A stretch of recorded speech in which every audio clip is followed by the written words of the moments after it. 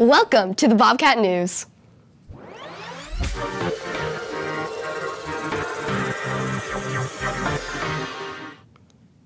Hi, I'm Mikkel Dorman. And I'm Josh Heater. Welcome to the third trimester. Juniors, do you have a love for politics, local and state government, or simply curious about how it all works?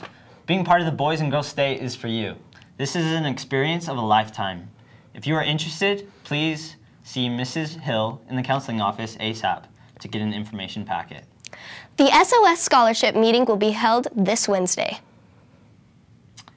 AP students, exam fees are past due. Pay at the finance office. Again, AP exam fees are past due. Pay at the finance office. The SAT is coming up in April. Get your SAT guidebook in the Counseling Center today. Have a great day, and please stand for the pledge.